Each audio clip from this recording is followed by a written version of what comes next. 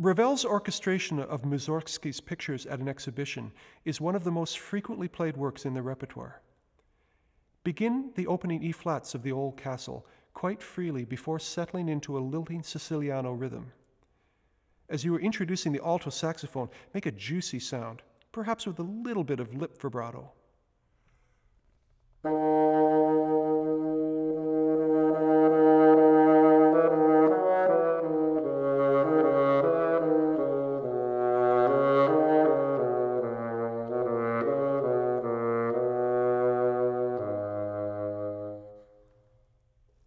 The repeated low G sharps need to be pianissimo.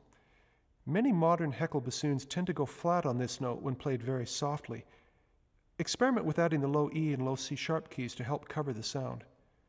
Notice how I use vibrato on the quarter, but not the eighth.